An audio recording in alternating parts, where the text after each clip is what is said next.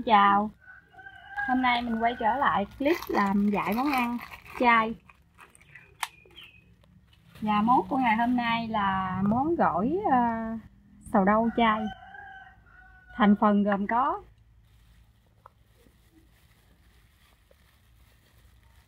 Đậu hũ ờ, uh, ki còn tươi. Ướp sẵn hoặc là chưa ướp cũng được Mình sẽ chiên lên.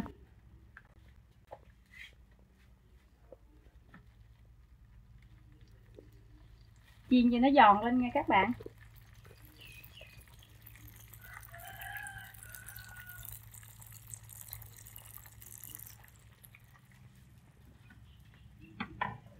Và thành phần trộn gỏi là gồm có bắp cải sắc nhuyễn ra.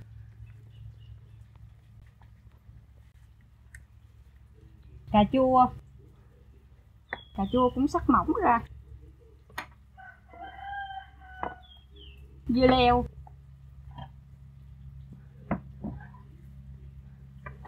Cà chua. Mình cũng chuẩn bị cà chua sắc cho mỏng thật là mỏng. Tại vì trộn gỏi, cà chua sắc mỏng mới là món gỏi.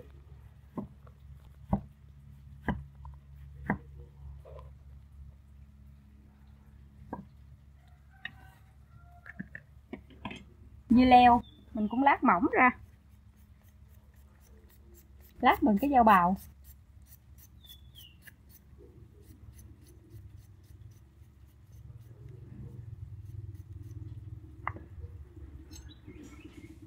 và mình cũng chuẩn bị một uh, chén ờ, nước hạnh nước hạnh vắt lấy uh, nước bỏ vỏ là người ta cũng có gọi là trái tắc nữa đó. Mình ở đây mình người miền Nam Bộ thì mình gọi là trái hạnh đi. Cái món uh, gỏi sò đâu này là một món ăn dân dã của người dân Nam Bộ. Tức là người miền Nam Việt Nam ở đây tất cả mọi người đều biết về cái món gỏi sầu đâu này và rất là nhiều thời người thích. Mà thường thì người ta ăn mặn thì người ta sẽ trộn với ờ, khô khô mực hoặc là khô cá sặc nhưng mà hôm nay mình đang hướng dẫn một món khô gỏi ờ, xào đâu là món chay. Cho nên mình sẽ trộn với ờ, đậu hũ tươi. Đậu hũ ki tươi. Và một ít đậu hũ uh, chiên. Đây là thành phần gồm có cà chua, dưa leo và thành phần chính là lá sầu đâu mình bỏ hỗn hợp chung vào hết. Đây là lá sầu đâu non nha các bạn. Mình chỉ lấy ở trên cái chớp đầu của cái cái cành của lá sầu sầu đâu đặc sản nhất là người ta trộn với ờ, bông sào đâu nhưng mà bông sào đâu thì nó có tùy theo mùa mới có. Tức là tới mùa thì bông nó mới trổ nhưng mà nếu mà mình ăn thường xuyên quanh năm suốt tháng thì mình có thể mua lá non có thường xuyên hơn. Tại vì bông á thì nó, nó tới mùa nó mới trổ. Còn lá non thì lúc nào cũng có.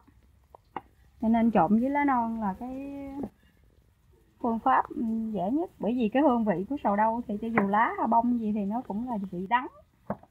Nó có một cái vị rất là đắng. Có những người không ăn đắng được nhưng mà gỏi sầu đâu này ờ, nó rất là đặc biệt ở cái chỗ là mặc dầu nó rất đắng, nhưng mà khi chúng ta ăn xong thì ở trong cái miệng của mình nó có cái hương vị ngọt lại. Rất là ngon.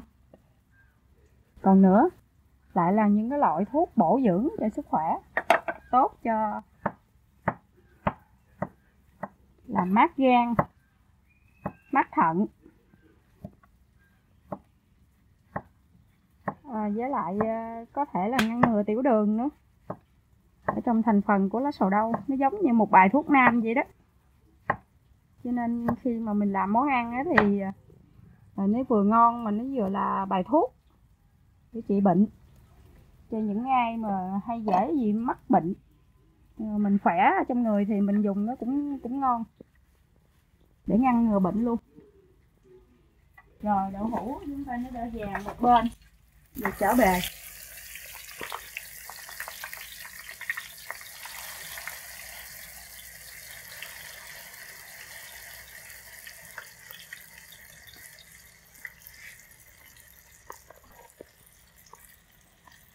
tục thanh phần của gỏi xào đâu mình sẽ cho một ít hạt nêm. Một muỗng ăn canh hạt nêm.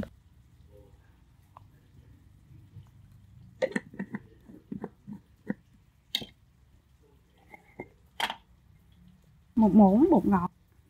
Muỗng nhỏ như thế này thôi. Không cần nhiều bột ngọt đâu. Không sử dụng bột ngọt nhiều.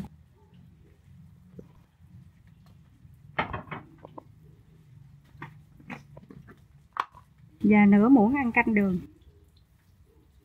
Bởi vì nó có nước hạnh cho nên mình trộn đường vô để cho nó dịu lại.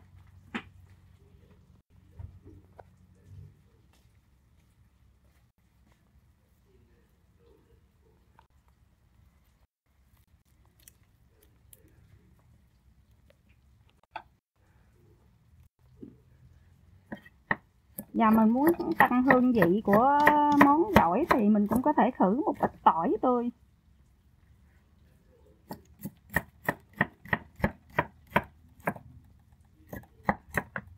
Mình khử cho nó vàng lên.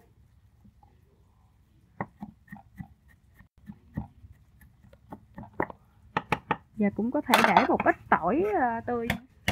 Khử tỏi xong rồi, khử tỏi cho nó vàng chín rồi mình cũng có thể để hai tép tỏi tươi làm tăng hương vị của ờ, món gỏi.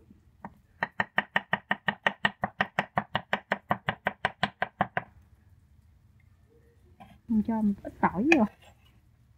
Và một ít thì mình sẽ khử thôi phi tỏi thì nó vàng.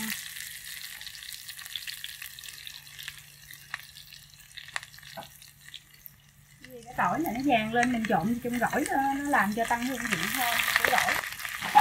Tăng hương vị ngon lên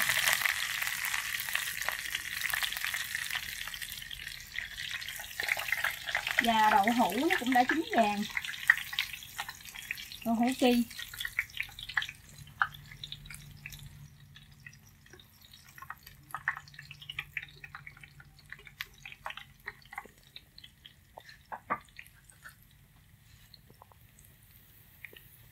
tỏi cũng vừa vàng tới. Chúng ta tắt bếp.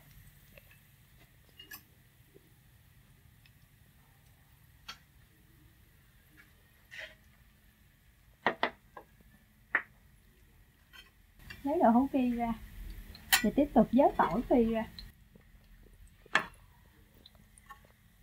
Tỏi phi vừa vàng tới thôi nha. Rất là vừa.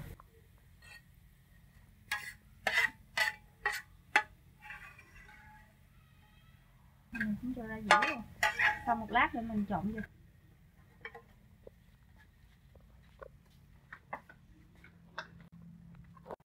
Rồi, thành phần ở trong đây là đồ nêm, tỏi, hạt nêm, ớt, đường. Mình cho một chút ớt nữa. Ớt tươi cũng được, hay hoặc ớt sa tế cũng được. Để tăng hương vị hơi cay cho cho gỏi sầu đâu dành cho những người thích ăn cay. Mà không cần thiết quá cay nhiều đâu.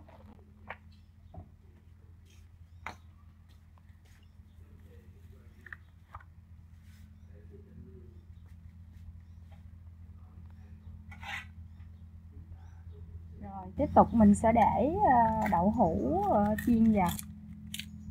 Đây là đậu hũ ki mình để chiên xong, vàng giòn rất là ngon rất là vừa ăn.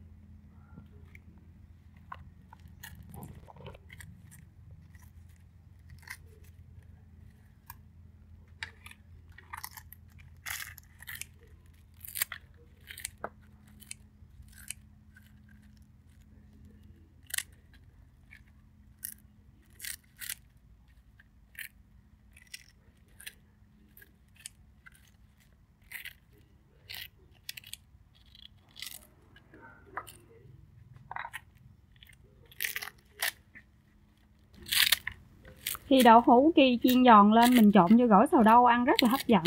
Có mùi rất là ngon. Không có thua gì gỏi uh, của những người người ta làm đồ mặn như là uh, khô gì hết. Rồi đồ chay thì nó lại là là rất là an toàn. Tốt cho sức khỏe của chúng ta lắm. Tiếp tục cho tỏi phi vào. Và khâu cuối cùng là mình sẽ cho nước cốt hạnh. Tùy theo sở thích mình thích chua thì mình trộn ờ, hết phần còn nếu mình không thích chua quá thì mình chỉ trộn một phần nào đó cho nó vừa đủ ngọt và chua thôi. Nhưng mà ở đây thì mình sẽ làm chua bởi vì gỏi sò đâu gia đình mình thích ăn chua và ngọt.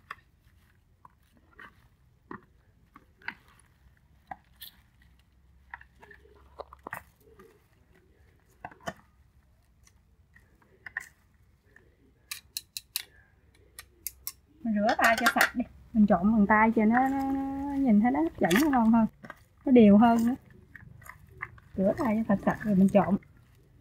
Bởi vì đây là những món ăn trong gia đình. Cho nên mình làm cho gia đình mình ăn thì gọn gàng sạch sẽ. Rồi nếu mình làm để mà cho người khác thì nhìn thấy ờ, trên nhà hàng rồi thì mình mang bao tay rồi gồm gà.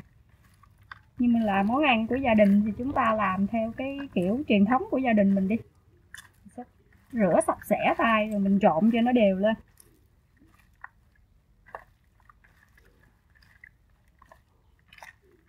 Thấy không các bạn? Hương vị của một cái cái dĩa gỏi sò đâu nó, nó rất là đơn giản nhưng mà nó đầy đủ thành phần và chất dinh dưỡng rất là ngon. Rồi xong chúng ta cho ra dĩa đi.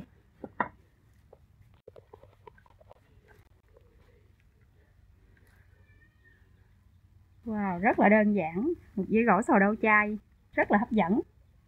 Đầy đủ dinh dưỡng. Ngon bổ dưỡng Tốt cho sức khỏe.